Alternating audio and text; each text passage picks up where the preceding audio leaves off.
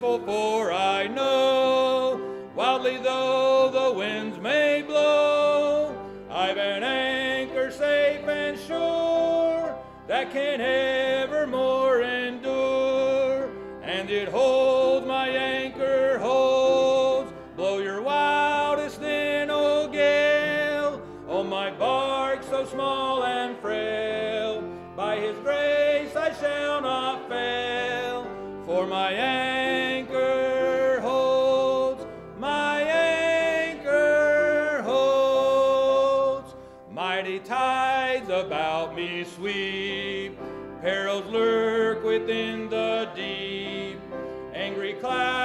o'ershade the sky, and the tempest rises high. Still I stand the tempest shock, for my anchor grips the rock, and it holds, my anchor holds. Blow your wildest then, gale, oh my bark so small and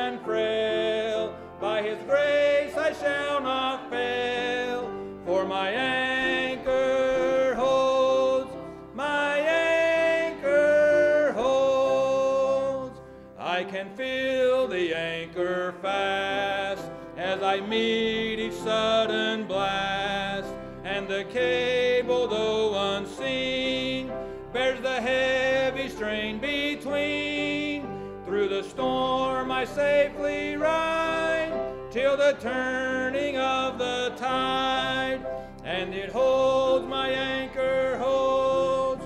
Blow your wildest O gale, on my bark so small and frail. By His grace I shall not fail, for my anchor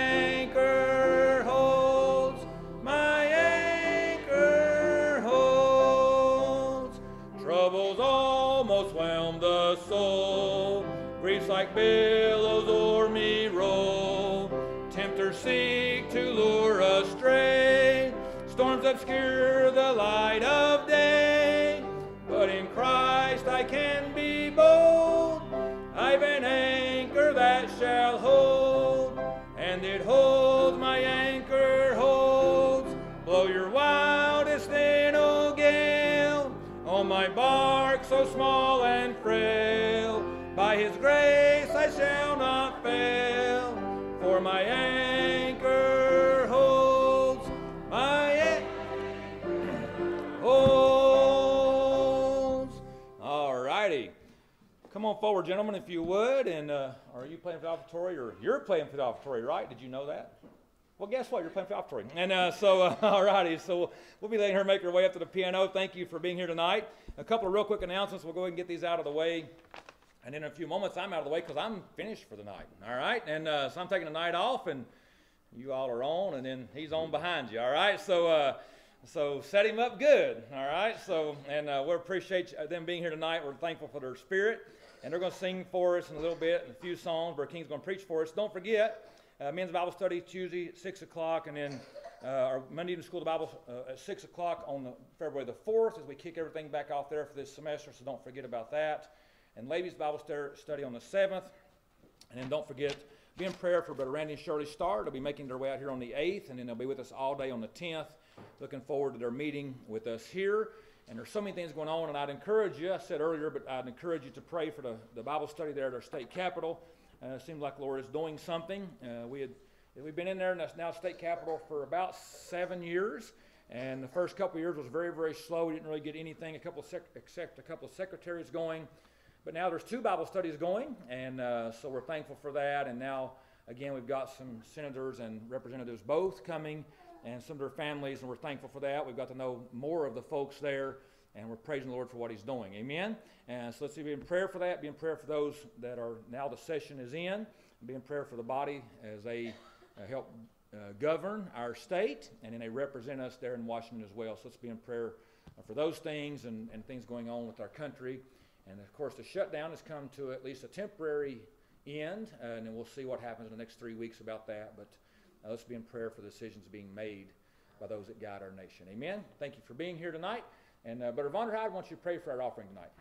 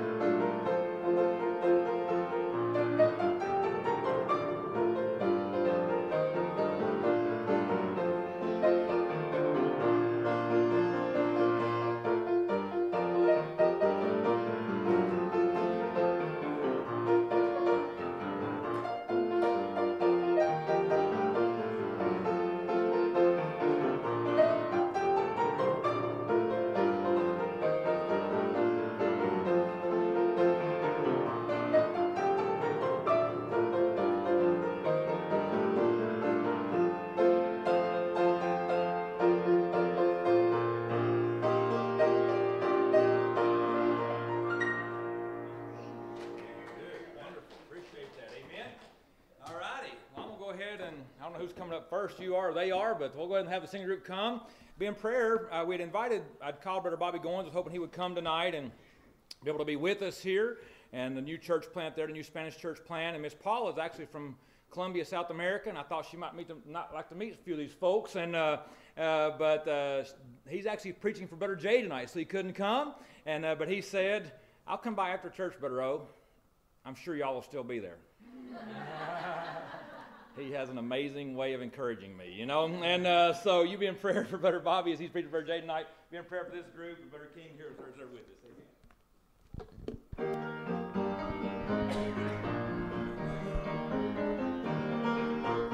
Oh, what a wonderful, wonderful day, day I will never forget. After I wander in darkness away, Jesus, my Savior, I met. Oh, what a tender, compassionate friend. He met the need of my heart. Shadows dispelling with joy, and I'm telling He made all the darkness depart. Heaven came down and glory filled my soul, filled my soul. When at the cross the Savior made me whole, made me whole. My sins are washed away, and my night was turned to day. Heaven came down and glory filled my soul, filled my soul. Born of the Spirit with life from above, into God's family divine. Justified truly through Calvary's love. Oh, what a standing is mine. And the transaction so quickly was made when as a sinner I came. Took of the offer of grace he did proffer, he saved me, all praise his dear name. Heaven came down and glory filled my soul, filled my soul. When at the cross the Savior made me whole, made me whole. My sins were washed away, and my night was turned to day. Heaven came down and glory filled my soul. Now the hope that will surely endure after the passing of time. I have a future in heaven for sure. There in those mansions sublime. And it's because of the wonderful day when at the cross I believe. Riches eternal and blessings supernal from his precious hand I received. Heaven came down and glory filled my soul, filled my soul. When at the cross the Savior made me whole, made me whole. My sins were washed away, and my night was turned to day. Heaven came down and glory filled my soul, filled my soul. Heaven came down, Heaven came down, and glory filled my soul.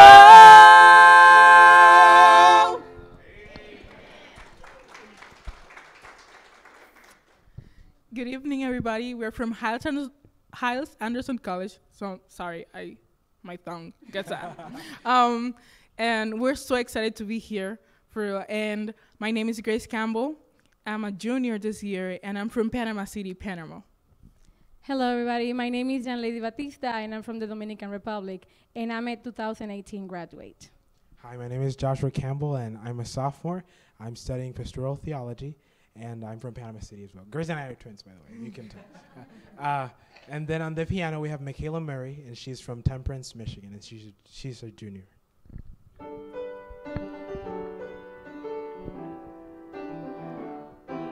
Defeated by sin and filled with regret. This wasn't the first time. How could he forget? With one plea for mercy, God's presence drew near. How can this be happening? My eyes filled with tears. Now I lift my hands and I'll testify that my soul's been rescued and given new life. A prisoner of sin, set free through his blood. For I am forgiven and covered in love. Each day has its battles, and still I may fall. But his hands will catch me to guide me along. So I live to serve him for all that he's done. Lord, let me say thank you for the battles you've won. Now I lift my hands and I'll testify that my soul's been rescued and given new life. A prisoner of sin, set free through his blood. For I am forgiven. and covered in love. I've been covered in love. Now I lift my head I'll testify that my soul's been rescued and given new life. A prisoner of sin, set free through his blood. For I am forgiven.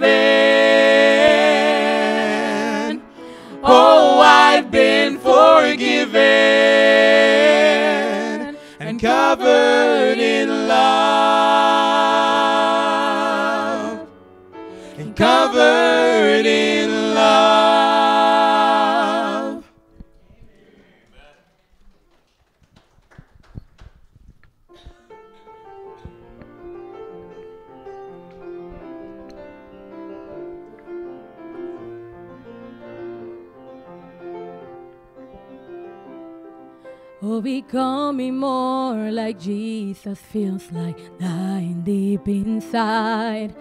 And sometimes I guess that's truly what it is. Cause he's calling me to lay aside my selfishness and pride so he can mold my heart and make it more like his. And lately, I've been seeing more each day the wisdom and new wonders of His grace. Just as I am, I ran to Him, and mercy took me in. Just as I am, and He forgave my sin. Oh, the way He's changing my heart proves He loves me too much to leave me just as I am.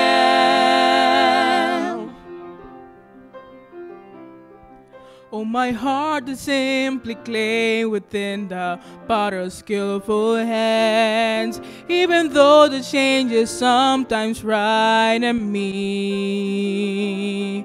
Oh, I want the truth of His word to keep shaping who I am, because I know that He does all things perfectly. And all my thoughts and all my attitudes, They're all His to change as He wants to. Just as I am, I ran to Him and mercy took me in. Just as I am, and He forgave my sin. All the way He's changing my heart proves He loves me too much to leave me just as, just as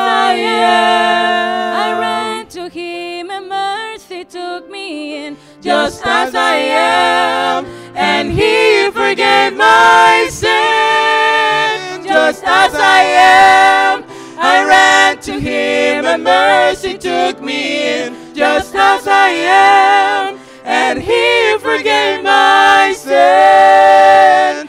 Oh, the way He's changing my heart proves He loves me too much to leave just as I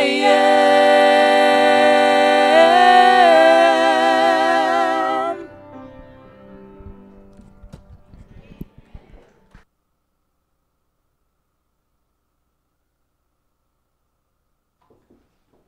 Amen. Thank you, young people. They'll be back up in just a minute. Um, aren't you glad that He loves you? He- He'll save you just as you are, but aren't you glad He loves you too much to leave you that way? I'm so thankful for that. As preacher mentioned, we're from Hyles Anderson College. My name is Aaron King. I'm here with my wife Amanda. She is by far the better part of me. We've been married for uh, 20 years this last year, and we have four children. Our oldest is a sophomore in college, and then we've got two in high school, and one that is seven years old and in second grade, and she is the pistol of the family that keeps the rest of us in shape. But we're thrilled to be here. We really are. We're thrilled to be anywhere other than Northwest Indiana right now with a high on Wednesday that's negative 15 degrees. And so we're thrilled to be with you. It's snowing up there. We're praying maybe our flight get canceled tomorrow and we get to stay in Arizona for another month or so. But uh, we really are. We're, we're honored to be here. And we're honored to have Tommy. I can't tell you. He is a blessing to me. Um, y'all have known him, of course, longer than I have, but every time I see that kid, he's smiling in the hallways, always greets me and tells me to have a great day or got some story for me or something. And I just love being around young people, especially. I spent 18 years as a youth pastor and a pastor, and uh, now working at the college, and thrilled to do that. But I like being around young people that are enjoying life and love the Lord. And I believe Tommy is one of those young people, and he's a blessing to us. I appreciate you sending him, and uh, continue to pray for him. I always tell churches if you've got if you've got young people anywhere in college, pray for them.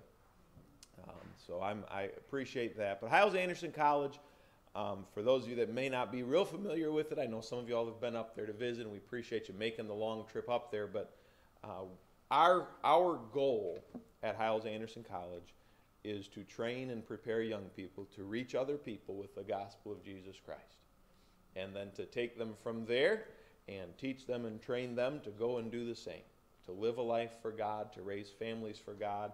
And we have uh, majors that any, anywhere from general studies and missions and education and media and of course pastoral theology and youth pastors and music and all these different things, but all of them with the number one focus of reaching people with the gospel of Jesus Christ.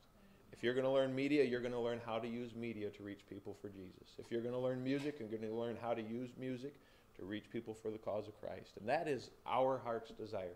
35,000 plus young people have come through the doors of Hyles Anderson College. We've got graduates ministering in all 50 states and over 50 foreign countries with that purpose of reaching people for Christ.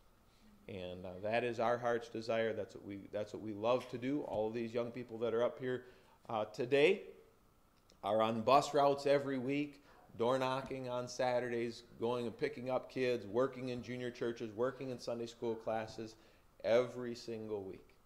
And it's a huge blessing. It's a huge part of what we do. Um, any of you young people that are here, uh, if you're 6th through 12th grade and you would like more information, there's information cards back on the table. You're welcome to fill one of those out. We'd be happy to get you any information you'd like. Those that are juniors, seniors, maybe young adults considering, and you say, I'd, li- I'd like more information, I would consider maybe Hyles Anderson College, or if you know somebody else that would, we do have applications, but we'd just be happy to answer your questions. If you've got questions about our school, we'd, we'd love to, to answer those questions. We do have music CDs back on the table. They're $15 a piece, two or more for $10. And uh, our heart's desire, even with the, with the music CDs, is to help people to fill their homes and fill their lives with godly music. The, the power of godly music in a home, in a life, for an individual, for a family, in our home. Um, if, if things, if there's a lot of tension, a lot going on, a lot of stress, maybe kids are upset or whatever the case may be, uh, oftentimes the first thing my wife will do is go over to the CD player and put in a good godly CD of Christian music, and you turn that on, and it's amazing in 30 seconds the difference that it makes in the spirit of our home. And I tell people all the time, don't ever, don't ever forget what the devil did in heaven before he fell. He knows how to use music. He knows how to use music. The only one who knows music better than the devil is the Lord himself. And God stresses throughout the Bible the power of music. So I'd encourage you, whether it's from us, you can go online and get some of our music, but also there's a lot of other good sources for godly music. But music is to honor God, and it has it has a great effect over our spirit. And so I want to encourage you: fill your home with godly music. And for young people, as you get to that place in your life where you're ready to consider Bible college, let me ask you to do a couple things. Number one, pray about it.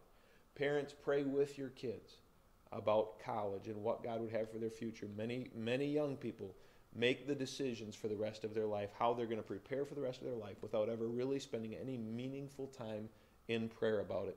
They look at how much money will this pay me, or they look at what do I like to do, what do I enjoy, and never really give much consideration to what does God want me to do. So number one, I'd say pray about it. Number two, talk to your parents. Ask for their counsel, ask for their advice. And number three, talk to your pastor. And then after you've done those things, after you've prayed about it, you've talked to your pastor and you've talked to your parents, go and do exactly what your parents and pastor tell you to do. You'll never ever be sorry as a young person for doing what your parents and your preacher tell you to do. Because they answer for it. If they tell you wrong, God's going to hold them accountable for it, right? I've got kids of my own. When I was in high school, my dad happened to be my pastor. And I just went to him as a senior in high school. I said, Dad, what do you want me to do after high school? He said, I want you to go to Hyles Anderson College. That was the end of the discussion for me. That's what I did because that's what my dad told me he wanted me to do. And uh, there's, there's a, a lot of liberty in that, but God will bless that. And I'd encourage young people, young adults, um, parents, talk to your pastor. Parents, talk to pastor about what he believes God would have for, for your children. Um, God's, God's given you a spiritual shepherd in your life for a reason. And so I, that, that's the only thing. I, I tell people that everywhere. That's my heart. If, if God leads a young person to Hyles Anderson College, we're thrilled to have them. We really are. But if Hyles Anderson College isn't where God wants them, we want them to be where God wants them. And so that's that's our desire. There's a lot of great places, and we we're a little bit biased at Hyles Anderson College because that's where we are. That's where we're from. I'd say it's a great place to get a wife because that's where I got my wife. And so, uh, no, I, I'm thankful. We're thankful for the opportunity to be here, really, and thrilled. I got to meet your preacher last fall and had lunch with him, and um, it's it's an honor. I, I, believe God's given you a great a great pastor here, Amen. and uh, support him. We thank God for him every day. Pray for him every day. I love the sign on the front of his desk. I took a picture of it. If you haven't seen it, you need to. Um, I, I, I love that. I think every preacher should have that on the front of his desk. That's a blessing. But no, it's, it's a privilege for us to be here. The young people are going to come back and sing a few more songs. One of them is going to share a testimony with you, and then I'll preach after that. Don't worry, I don't preach long.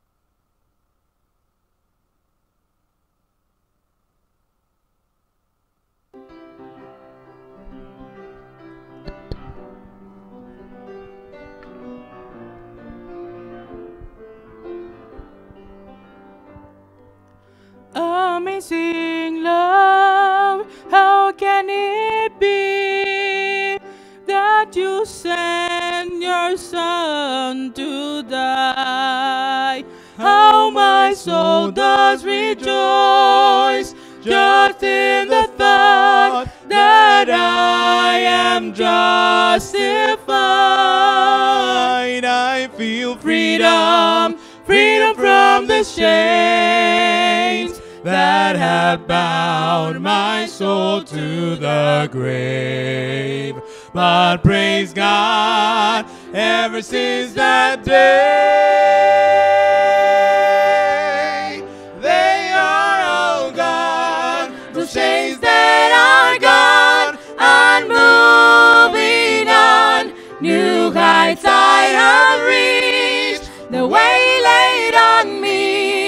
the cross lifted up, they are gone. Hallelujah, I'm free, my sins are gone.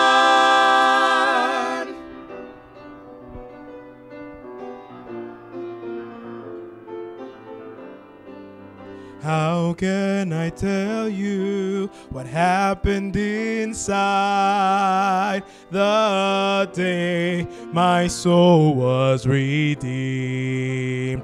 My ship it was sinking all on its own, anchored in uncertainties. But my Jesus, he reached out his hand and he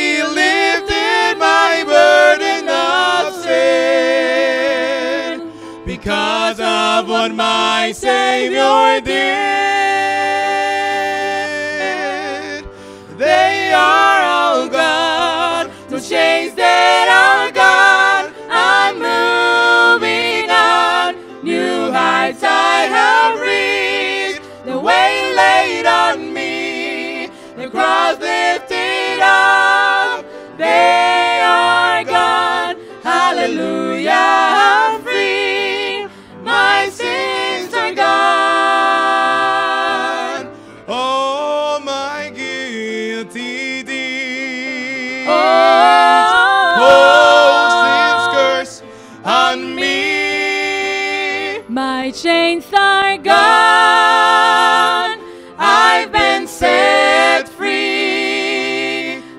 God, my Savior, has ransomed me. Oh, they are all gone. Those chains that are gone. I'm moving on. New heights I have reached. The way laid on me. The cross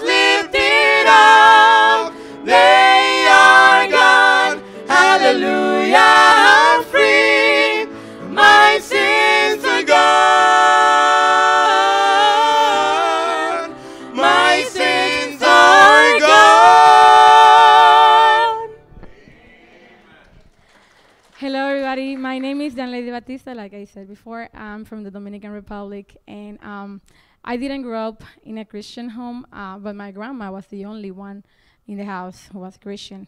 And uh, my brother, he got saved at a young age, and um, practically, when you're a kid, you don't have you have no option to go to church because your parents or your grandpa, your grandma, she took me. And when I was growing up, she was forcing me to go to church. I didn't want to go because my mom didn't want to go either. So um, when I I remember that the only reason that I that I went to church it was because if you have a perfect atten- attendance the whole year, there's a church that they they send they send toys to to our to our church. So that toy will be wrapped and it will have your name and your age. That was the only reason I went to the church the whole year so I can see that toy, that big toy with my name there. And um, but the Lord did something in my life. And one day at Sunday school class, uh, there is this lady at my church that she was uh, she was teaching and she was talking about Jesus, and all of a sudden she started talking about hell. And as a seven year old, when you hear somebody talking about hell and, you, and they give you an example, like very graphic example about hell, you just start crying. You're like, I don't want to go to hell. I want to go to hell. And uh, that's that that's how I got saved. She t- she she talked to me because I was really scared. I didn't want to go to hell. So she talked to me and I and I got saved when I was 7 years old. But when I was 17 years old, I when I was 16 years old, 16 or 17, I I was I wasn't sure of my salvation. So I talked with somebody in at a youth conference. I talked with somebody and I got insurance of my salvation.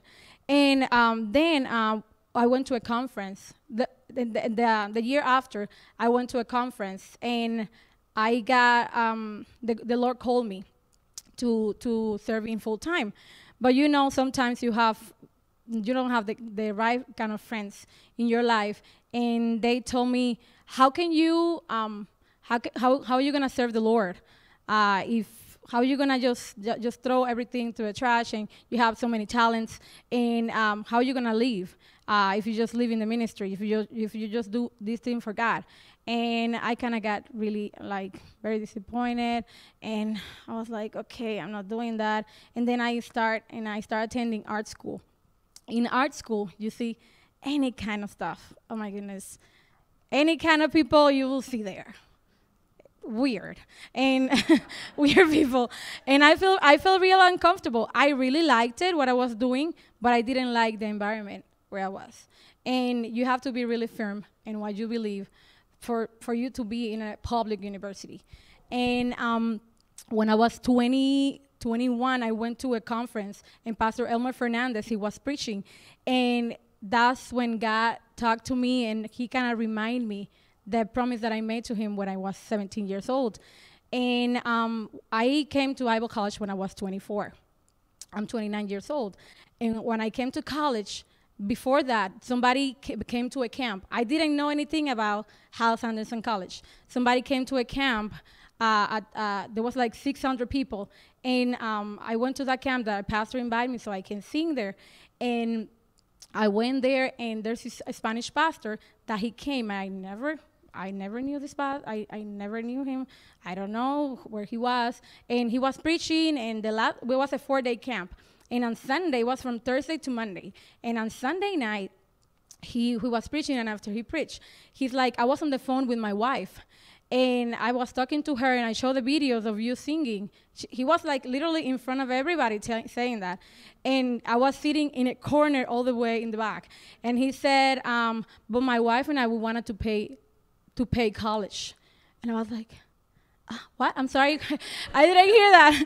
And he's like yeah we wanted to we wanted to offer you a scholarship at Hyles-Anderson college. And i was like uh, i don't know because i was already studying at college. And that was kind of a blessing for me because before that i couldn't afford uh, to pay for a bible college. And i wanted to go to puerto rico years before that. My mom he, she has always been so supportive. My mom is christian now but she has always been oh, so supportive like whatever you want to do just do it. I'll be praying for you. If that's the will of God, you're gonna do it. She never said no to any of the things that I was like crazy things. I like, okay, mom, I'll do it. And she's like, yeah, if you if you fall, you're gonna fall. And then, um, but this this time she was like, just pray about it. I prayed for a month and I was fasting for a month. And after that, the college called me. I never gave them my information.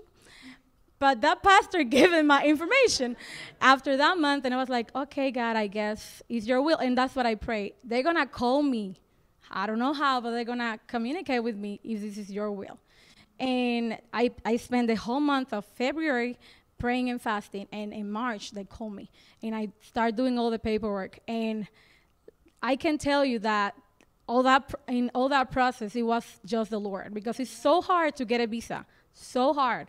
And um, when I get to the to the cons to the cons to the yeah to the embassy, and I was like so secure, but I was praying the whole time. I was nervous and I was sweating. My hands were sweating, and I stand in front of the uh, um, of the of the guy, and he's like, "So you're going to college?" And I was like, Yes. And I was answering all the questions in English. I didn't know a lot of English back then. And I was like, Yes, sir.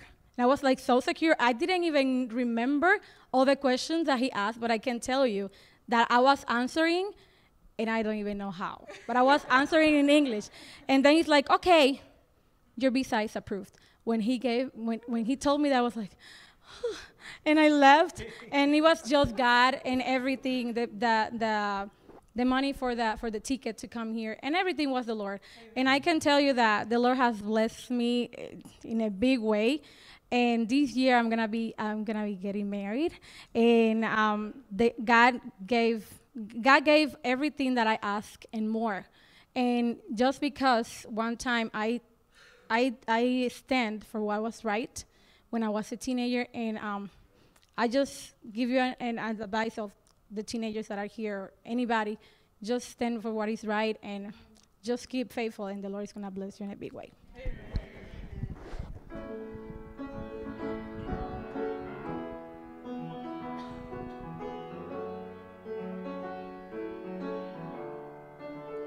There's no treasure on earth that can move heaven's heart and purchase a pardon for me.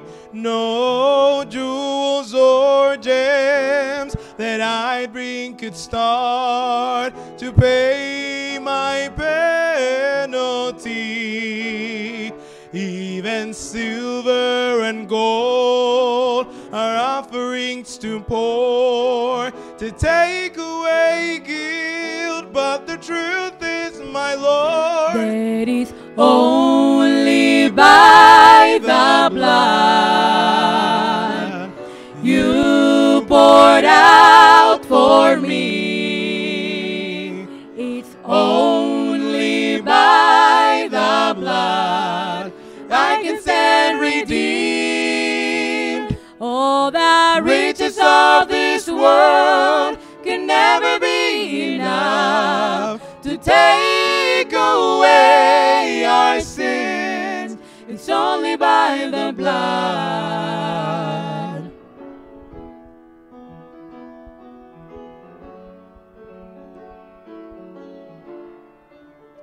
To the temple they came, and the altars ran red, year after year after year.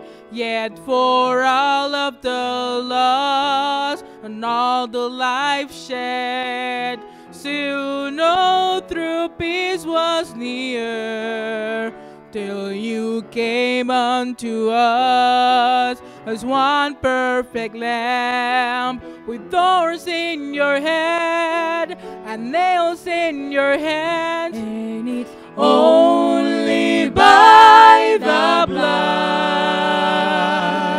you poured out for me it's only by the blood I can stand redeemed.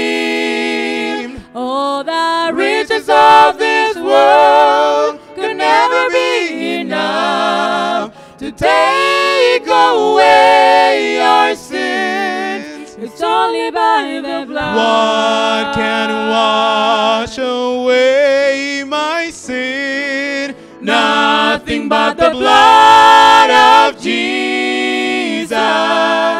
What can make me whole again? Nothing but the blood of Jesus. And it's Only by the blood you poured out for me.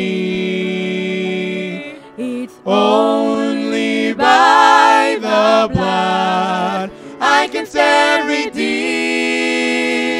All the Riches of this world can never be enough to take away our sins. It's only by the blood. It's only by the blood. Only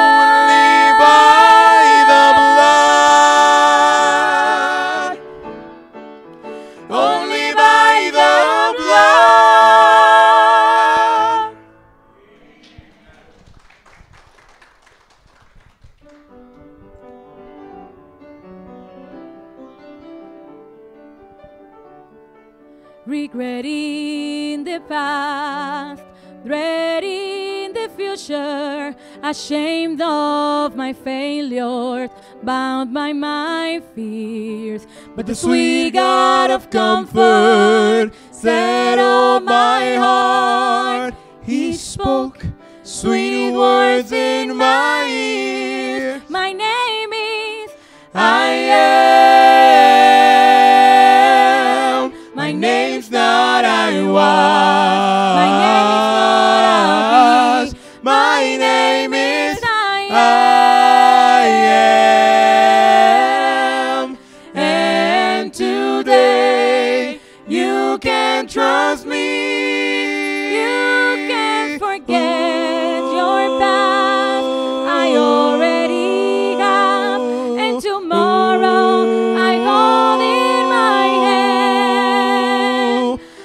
Unashamed, unafraid, you can stand. My name is I am.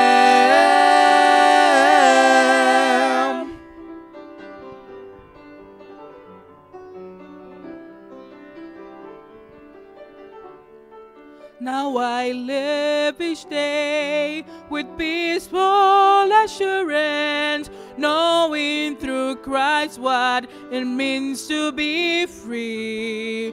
Worry and guilt are no more my companions. Since the day he said to me, My name is I am. My name's not I was. My name is not I. Was. My name is I I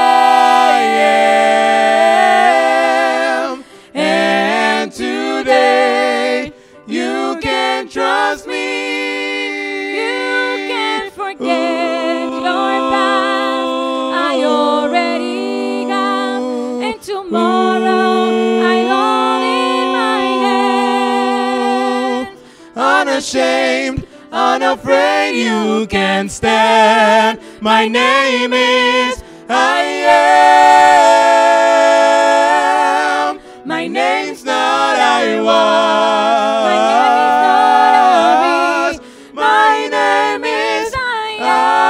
I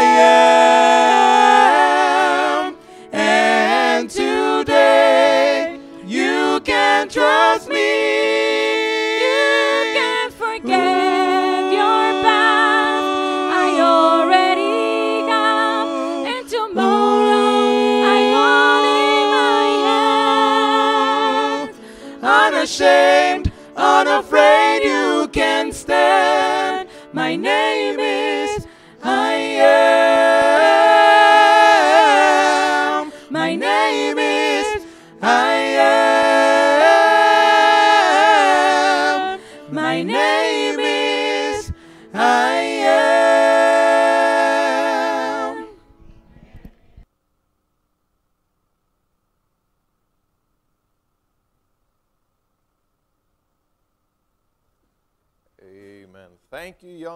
I appreciate it. Turn your Bibles with me, if you will, this evening to Proverbs chapter number 4. Proverbs chapter 4.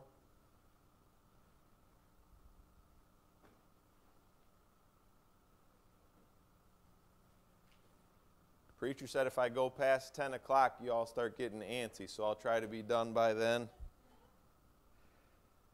I don't know about you, but sometimes if, if, uh, a preacher for whatever reason sometimes you know eh, sometimes you just have those days where you have a hard time getting your brain engaged with what's going on and so you kind of have a tendency to wander off a little bit and with our with our kids we my wife worked really hard as our kids were little to keep them focused and you know make them sit still in church when they were little and i think those are great things and sometimes you know when a kid is little I, we were at a church last summer and they had at this church on Sunday morning in the Sunday morning bulletin, on the back page of the bulletin, there was a coloring page, and it had to do with whatever the preacher was preaching on that Sunday.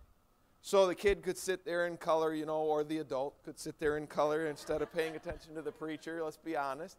I know. And so one of the things, this is kind of my way of, of helping you. This is me giving you a coloring page. One of the things that I um, find myself doing, if, if I'm sitting and listening to somebody else preach, which I do quite often, we have chapel every day and all of that. And so, uh, but sometimes my mind, because I have a little bit, I don't know, ADD or something maybe, but uh, if a preacher alliterates his message, you know, gives you points that all start with the same letter, I'll find myself occasionally wandering ahead in the message trying to figure out what the next point is. Okay?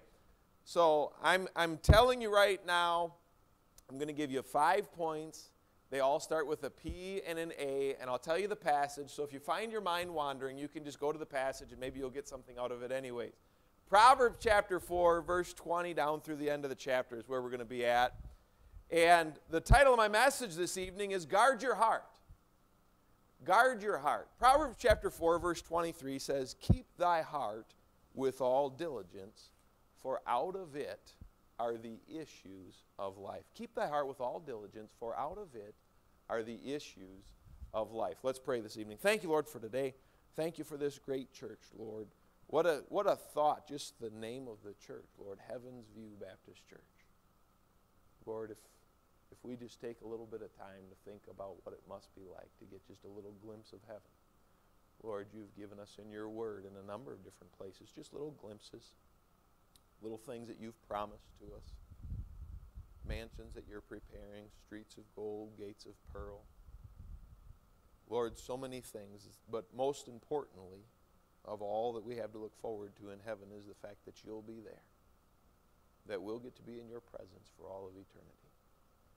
But Lord, while we're here on earth, I believe with all of my heart that once we're saved, the most important thing that we can do is to keep our heart with all diligence. Lord, you said in this passage that out of it are the issues of life. I pray that you'd help us this evening as we look at these few things, Lord, of different, different things that we can do, tangible things that we can do to guard our hearts. I love you, Lord. I pray that you'd help me this evening. In Jesus' name I pray. Amen.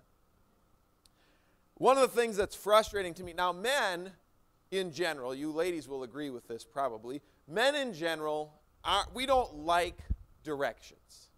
Okay? We don't like, we like to figure things out, at least I do. Maybe I'm the exception to the rule, but probably not. We don't like to ask for directions. We don't like to, to stop and ask for directions. Praise the Lord now for GPS. Siri is my new best friend. My dad, the first time that he had a GPS in his car, he called me and he was driving, and this was before GPS was on the phone, so he just had a little Garmin or something in his car because he travels and preaches a lot. And he called me because he was driving. I knew he was by himself, and he says, Aaron, it's like your mom is with me all the time.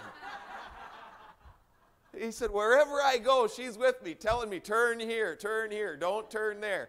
Hey, dummy, you took a wrong turn. I'm recalculating now because you went the wrong direction. But one of the things, oftentimes, even as a young person, that sometimes can be frustrating for us, and I find myself occasionally doing this with my children. I have one son, our oldest is a son, and the rest are girls. And, but even with my son, sometimes I find, I, I've found myself, he's in college now, but as he was growing, I'd find myself telling him to go do something. And he would say to me sometimes, Dad, I don't know how. I don't know how to do that.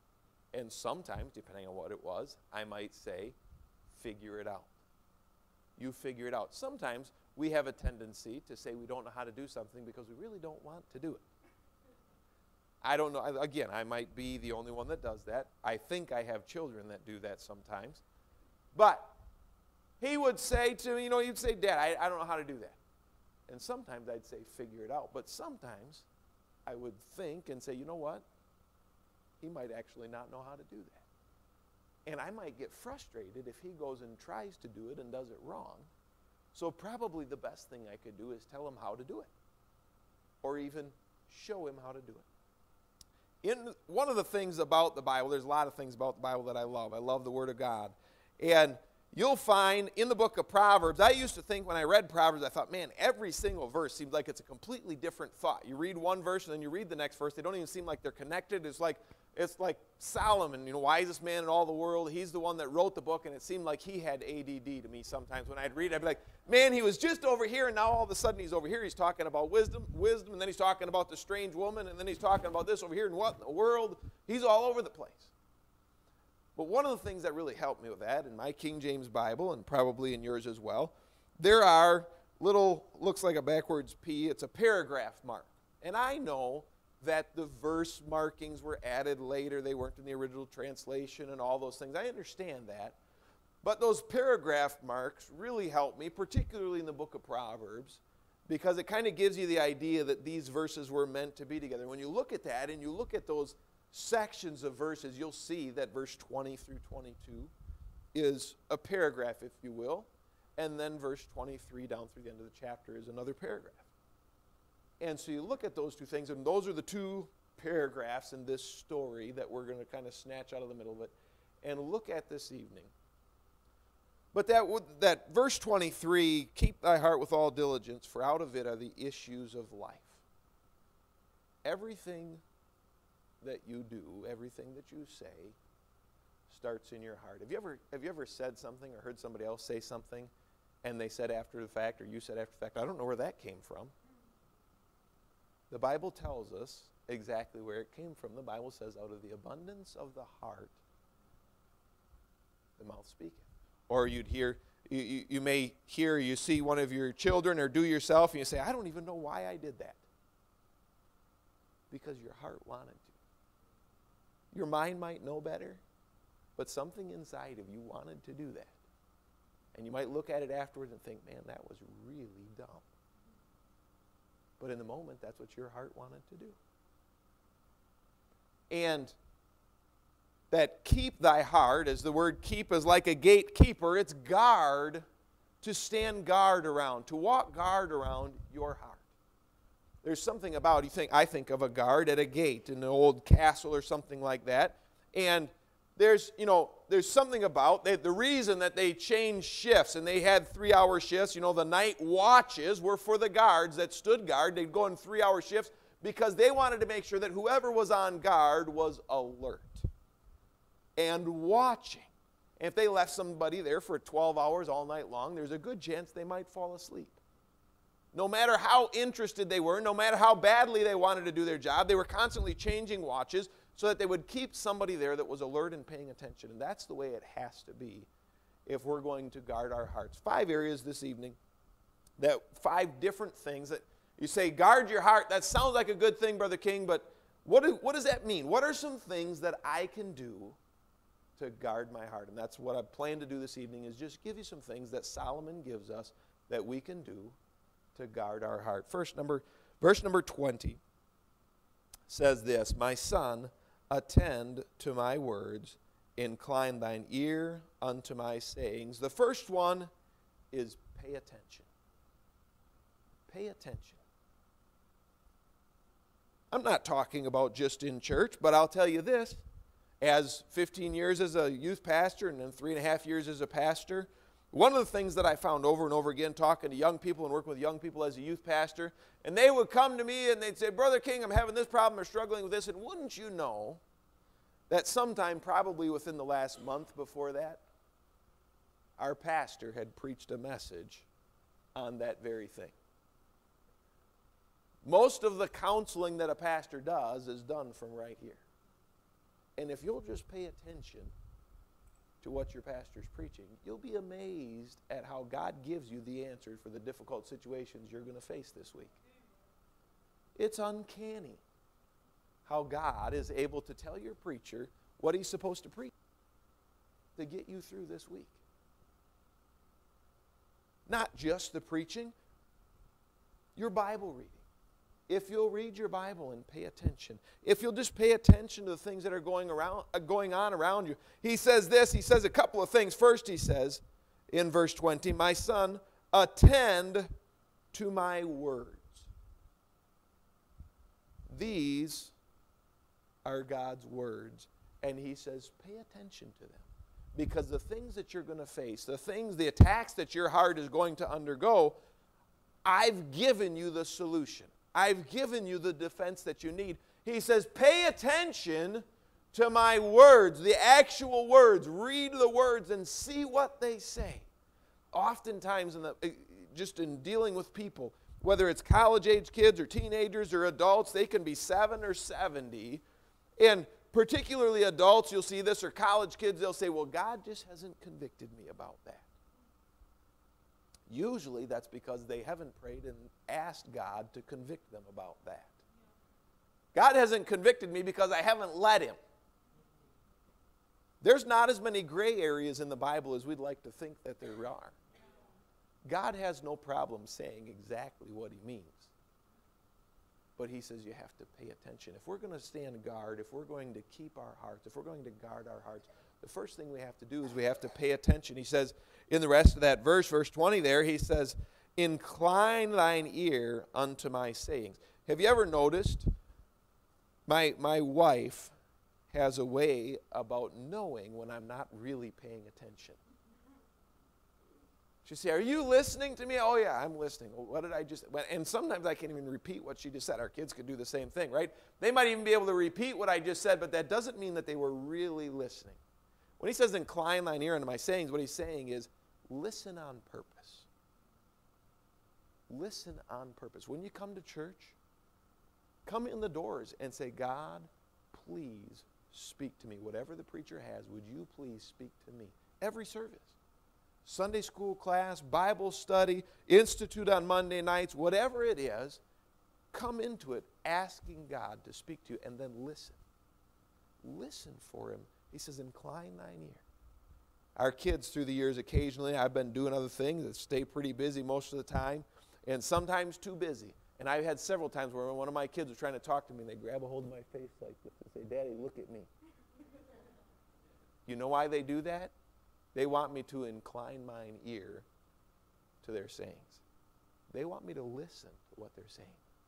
That's what Solomon says. If you're going to guard your heart, if I'm going to guard my, guard my heart, we have to pay attention. He says in the next two verses there, 21, 22, Let them not depart from thine eyes, keep them in the midst of thine heart, for they are life unto those that find them, and health to all their flesh. I won't take the time to turn there this evening, but if you look at Deuteronomy chapter 6, verses 6 through 8, he says exactly that.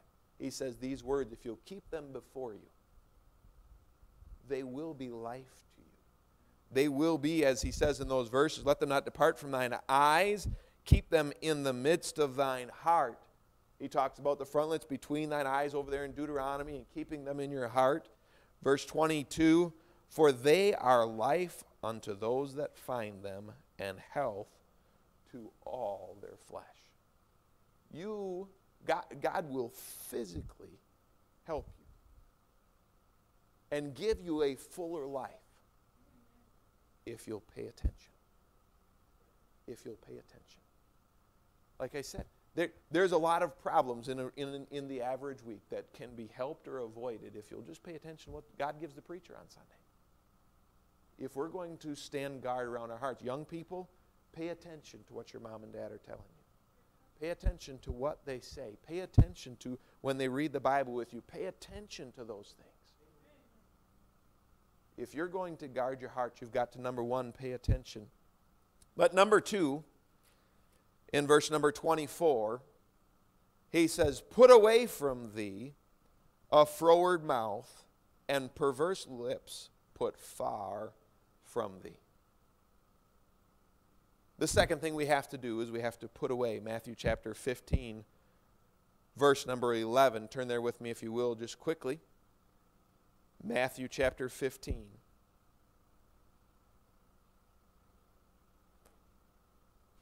Matthew 15 and verse 11, the Bible says this Not that which goeth into the mouth defileth a man, but that which cometh out of the mouth this defileth a man. Not that which goeth into him, but that which cometh out of the mouth defileth a man. I mentioned already that the Bible says in Luke chapter 6, verse 45, out of the abundance of the heart, the mouth speaketh. if we're going to guard our hearts, if we're going to keep our hearts with all diligence, we have to pay attention. But secondly, we have to put some things away. We have to, on purpose, put things away. You know, in order for me to put something away from me, it has to be something that's by me. It's ha- it has to be something that I have with me. That's already out, that I have to separate from me. If I'm going to put something away from me, preacher and I were talking about this. Him and I are a little bit kindred spirits in this area of we like cleaning things out and cleaning things up and for things to look neat. And I said, I just like when people put stuff away. And my wife, or when our kids, if they, when, when a child is old enough to get a toy out, that means they're old enough to put it back where they got it from. That's, I, I know that's a crazy concept, but at two years old, my kids were old enough to get toys out and they were old enough to put them back where they got them from.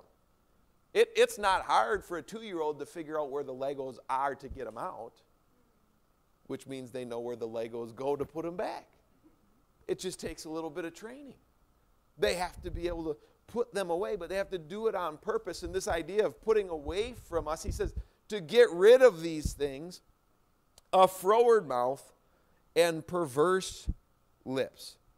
That word froward is just frowardness of crookedness of mouth, perverseness of things that are twisting the truth maybe a little bit. Maybe telling a story that's a little bit on the edge of something that a Christian would say. Maybe embellishing a little bit in a story that you're telling about somebody else or about yourself. Maybe not just being completely honest. He says, put that stuff away from you. you know, there's a whole lot of liberty in just being, you know, you know the nice thing about telling the truth? It's not hard to remember what you said because it's the truth. If we'll just be honest, it's not hard to remember. But he says if you're going to guard your heart, one of the things that so quickly can, can damage and, and discourage and twist our hearts is frowardness of mouth and perverseness of lips. Just not being completely honest and truthful in the things that we say, or maybe being maybe gossiping about things. Maybe you say, Well, everything I said about her was true. I'm telling you right now, Brother King. Just because it's true doesn't mean you need to say it. He says, put those things away from you. Remember, this is a father trying to help his son to guard his heart. He says, Keep thy heart with all diligence. And the next thing he says is, Watch what comes out of your mouth. But in order to watch what comes out of my mouth, I have to watch what's in my heart because that's where what comes out of my mouth comes from. Put away from you a froward mouth and perverse lips. Put far from thee. Number, verse number 25, number 3, it says this Let thine eyes look right on, and let thine eyelids look straight before thee. The third thing is peer ahead. That word peer, one of the definitions in the, in the Webster Dictionary, is to look narrowly. To look narrowly. You know, when you're peering at something, you're kind of focusing in on that one thing. When I was a boy growing up, not that I was ever a girl, I'm just saying, you know, when I was when I was a little, but when I was a young boy. I have to clarify things sometimes. When I was when I was growing, I grew up on a dairy farm. And I love it. My dad is a dairy farmer and a preacher. My whole growing up life, I love the farm. I love the country. I love everything about it. And one of the things that we got to do, Dad used to, Dad used to call them rock parties. We had rock parties on our farm. And lest you get a little bit distracted with what that is, that meant a whole bunch of kids walking through a field picking up rocks. That was our rock party. And Dad would, we would take turns as young children, you know, as maybe five, six years old, we got to be old enough where we could drive the tractor. There was a tractor and a wagon behind it. Dad had six kids, his twin brother that farmed with him. My uncle had five kids. There's 11 of us kids, and then maybe some of the neighbor kids would come over or whatever, and we'd all walk along, and somebody was on the tractor pulling this wagon, and we're all picking up rocks and putting them on the wagon. Dad said you have to pick up everything that's smaller than your fist. Well, my dad has like meat hooks hands. His hands are, and so he's picking up rocks that are this big. Well, if you're five years old, your hands are tiny. And he says, pick up anything that's smaller than your fist. You know, we're trying to make our fist bigger so we don't have to pick up any more rocks. But he says we would take turns as little kids getting to drive the tractor. And there's a big 40 or 80 or 100 acre field. And you're on this tractor, and you've got one job when you're on the tractor, and that is go straight. Because when you get to the other end, you've got to turn around and you're going to come back straight the other direction and then back down straight that way. And depending on the size of the field, it might take 20 or 30 minutes to get from one end of the field to the other. But you're going, I mean, the tractor's barely moving. Dad would get up because we weren't big enough to push the clutch in and all that. Dad would get up, push the clutch in, shift it into low gear, and let the clutch out. And he'd say, okay, now, Aaron, on the other end of the field, there's a, row, there's a fence row. And there's fence posts every 16 to 20 feet. And he would say, you look out there, and you pick a fence post, and you drive straight at that fence post. Well, there's a lot of fences out there, first of all. Second of all, unless it's a cartoon, have you ever tried to get a five year old to stare at one thing for 30 minutes? That's not even fair. And then, especially when you got 10 other kids that are throwing rocks, okay? Because a lot of other five, six, seven, eight year olds might not be a great aim with the rock. And it's a huge wagon, but there's also a tractor with a little kid in front of the wagon that there may occasionally be a rock come flying by you. And so it's easy to get distracted. And so I'm peering, you know, I'm trying to, don't take your eyes off the fence post. Okay, then somebody throws a rock at you. Well, I don't care if you're five or 50. If somebody throws a rock at you, you're going to quit looking at the fence post and try to figure out where the rocks are coming from. And so sometimes you take your eyes off and then you turn and look back and you're like, man, they all look the same. They all look the same. And so then you try to get focused back in, but you pick one, you're like, yeah, I'm pretty sure that's the one I was looking at. It looks a lot the same, and so we're going to go at that one. And then something else happens, you get distracted, get refocused, whatever, and then you get to the end of the field. And you look back, and you know it's not hard to tell where you got distracted. It's not hard. Because you can see a straight line, and all of a sudden there's a straight line, but now it's going this direction. And then there's another straight line, but now it's going back this direction. You know why? Because we didn't do what it says in verse number 25. He says, Let thine eyes look right on, and thine eyelids look straight before thee. If you and I are going to guard our hearts, we have to stay focused. We have to peer ahead. We have to look narrowly. We, you know, part of the reason that we don't guard our hearts is because we're so worried about everything else that's going around, we, we, going on around us. We lose focus on what we're supposed to be doing. We're so busy living the Christian life that sometimes we lose focus on what the Christian life was meant to be. And we get distracted with this or distracted with that and distracted with this. And I was so busy doing, you know, setting up for a banquet that I missed my Bible reading for a few days. He says, don't forget. Always, you know, I, I've heard my dad say for years, keep the main thing the main thing. Stay focused. The devil will constantly be throwing rocks. He'll constantly be doing all kinds of things to get you and I distracted. He said, Let thine eyes look right on and thine eyelids look straight before you. Figure out where you're going and go there. And go there. We're going to see a little bit more about that in just a minute, but he says, Peer ahead. Look narrowly. Parents raising your children, have a focused goal in mind. Do things on purpose for a purpose.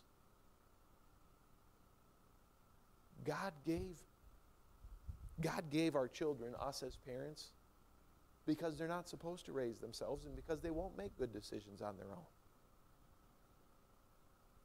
They may make some good decisions on their own, but God gave them parents for a reason.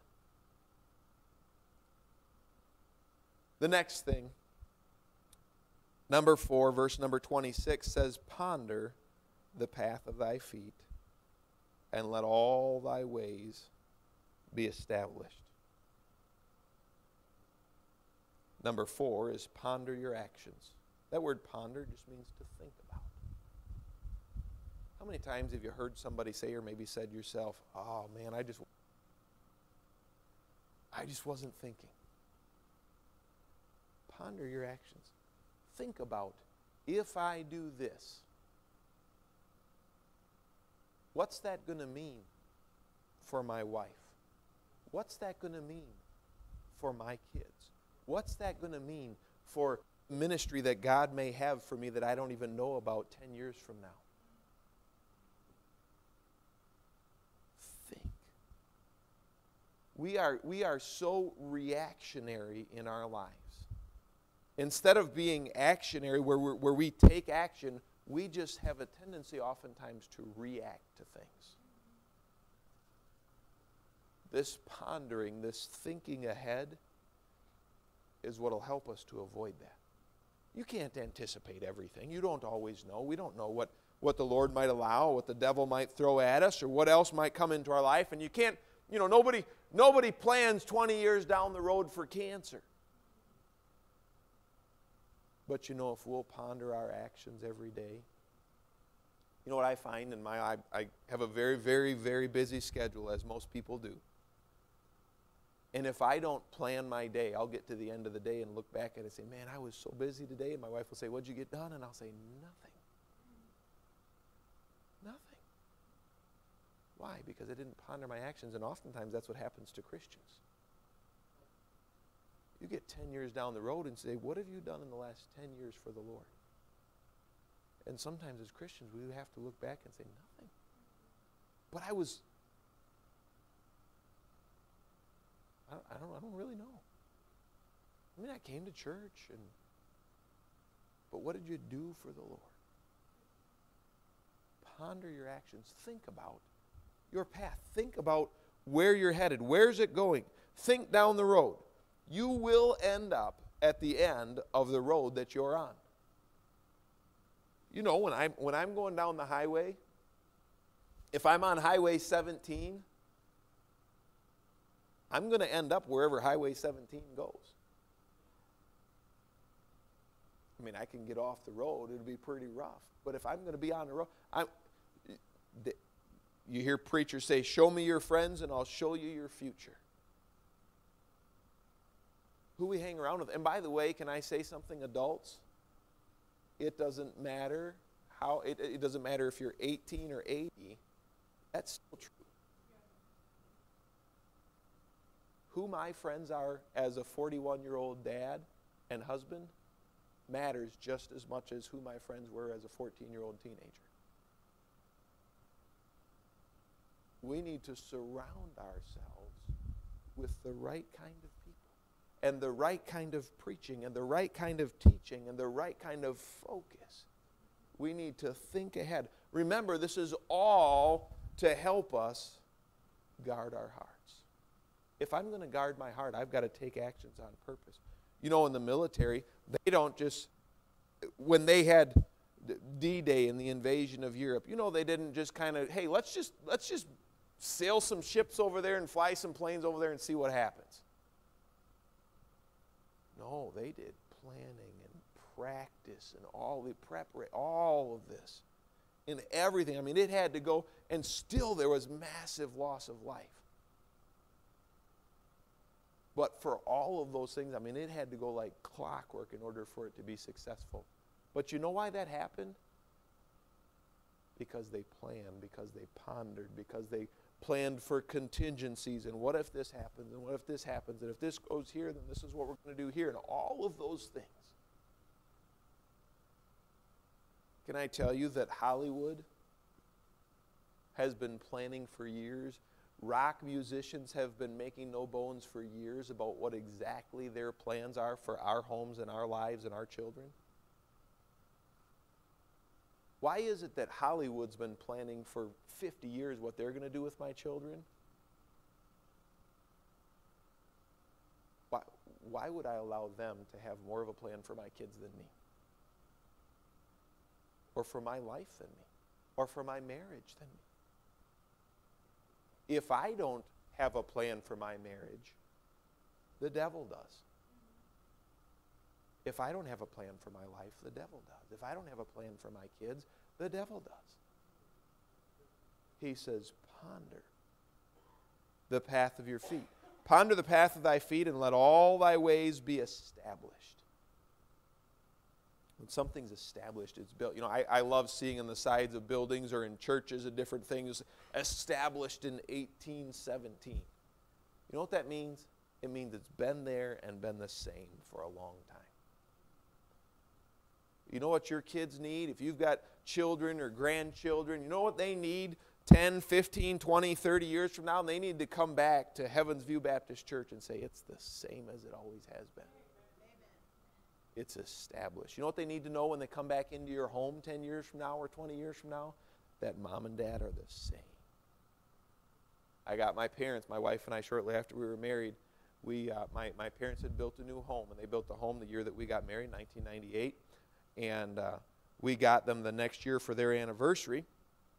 We got them a one of those brass door knockers to go on their front door, and it said Kings. That's our last name, and it said established, and the date of their anniversary that mom and dad were married. Except, I asked my sister because I didn't know what their anniversary date was, and she told me the wrong date. So, it's had for 20 years, mom and dad have had a door knocker on their front door with the wrong anniversary date on it. And they remind me of that. But here's the thing I, have always said I'm going to get them a new one, but I never have. So it's there and it's a conversation piece. But to know that my parents' home was established on that day and that my parents have been the same for my whole 41 years of life that's a big deal to me. I was home for Christmas, and you know what? My mom and dad are the same. They'll be, they're 69 years old, both of them are this year, and they're the same. My dad's been at his church. He got, he's, he's been at his church for 48 years. He got saved in that church. A year later, became the youth pastor. Was the youth pastor for 17 years. Then was the pastor for 28 years, and now he's been the missions pastor for five or six years. You know what that is? That's established. That's established. Ponder your actions. Let your ways be established. The last, verse number 27 Turn not to the right hand nor to the left, remove thy foot from evil. Plan to avoid. Plan to avoid. Failing to plan or failing to plan is planning to fail he says in that verse, Turn not to the right hand nor to the left, remove thy foot from evil. You say it's a lot like the previous verse. No, the previous verse says, Think about it in ahead. But then this verse says, once you've planned ahead, once you've pondered it, once you've thought about it, don't deviate from it. Go do it. Carry out those things that you've planned and plan to avoid the trouble. You know,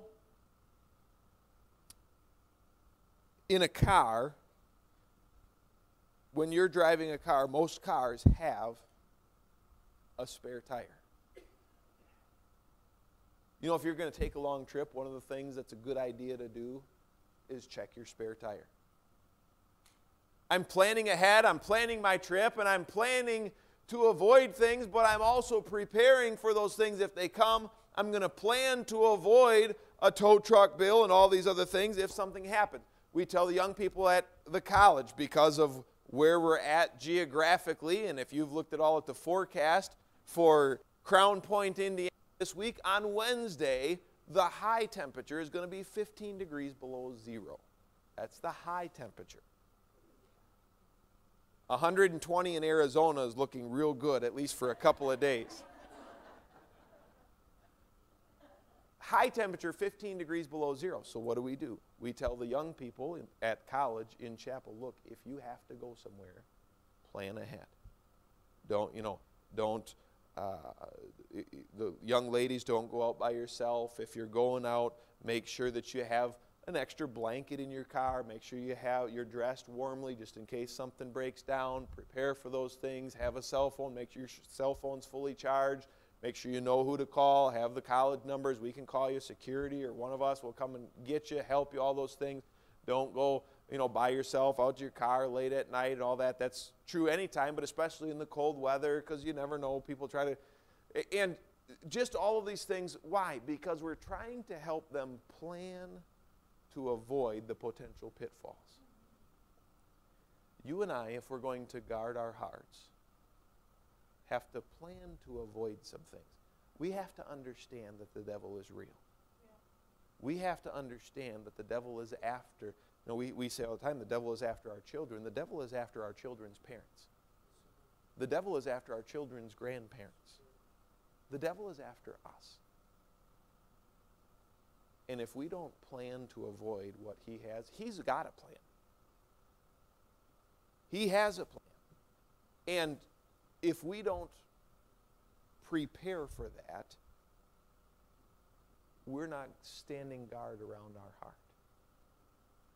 You know, there's always, you know, in the, in the military, my son loves to read military history, and he's talking about, you know, he loves especially World War II history, and he's reading about Eisenhower and Patton and all these guys and different things that they've done. And then he says, Dad, and don't worry, I'm not a Nazi, but he says, Dad, that I don't know if, if you read war history at all, if you've ever read a book on Rommel, he was a commander for the German army. And just in reading about some of the things he did, he said, Dad, that guy was a genius. If Hitler hadn't made him do a bunch of stuff that he didn't want to do, he said he probably would have been successful at what he was attempting to do. Why?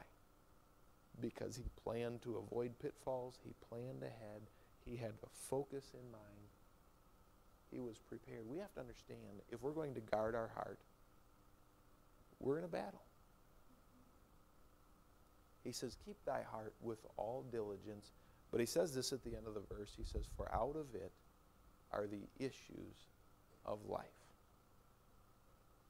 The issues of life is everything you do in your life starts right here. It starts right here. And that's where it comes from.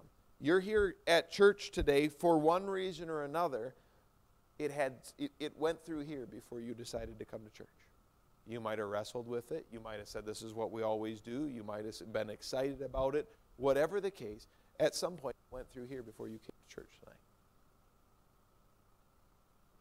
But everything that we do, every minute of every day, goes through here. He says, Keep thy heart with all diligence. How do I do that? That's an easy thing to say and a hard thing to do. It is a hard thing to do. That's why we're commanded to do it. If we just did it naturally, He wouldn't have to tell us to do it. The Bible commands that God gives us the Ten Commandments. The reason He gives us those things is because we don't just do them by accident. He says, Keep thy heart with all diligence, for out of it are the issues of life. The people that are struggling in life, the people that fall into sin, guaranteed at some point they stopped guarding their heart. His desire, Solomon's desire for his son, was to be successful, to live a happy and peaceful and wonderful life that was pleasing to God Almighty. And he said, if you're going to do that, these are some things you have to do. You have to pay attention. You have to put some things away a froward mouth, perverse lips. You have to peer ahead. You have to look narrowly. You have to be focused on the path. You have to know where you're going. You have to, you have to keep your eyes in the right direction. You have to ponder your actions. Think about it. Think about. Have a plan for the future. And then last, you, you have to plan to avoid. Plan to avoid the pitfalls. They're going to come. The potential difficulties, the temptations, all of those things are going to come. And if you don't have a plan, if I don't have a plan to avoid them, we will fall. Sooner or later, we will fall. Let's have every head bowed and every eye closed this evening. Again, I appreciate so much your attention. I don't know where you're at. Obviously, I've not been here before.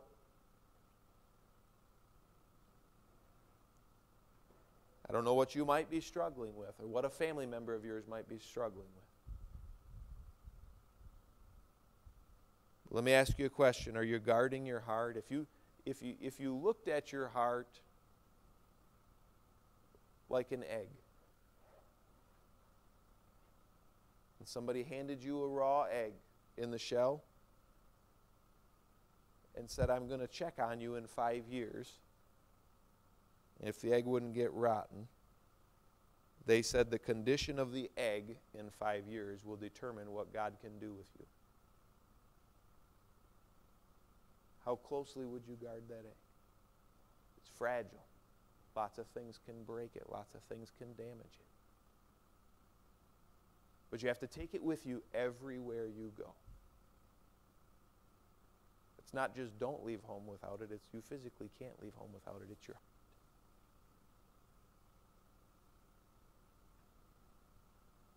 What are we doing to guard our heart? I'm going to ask everybody to stand if you would. Heavenly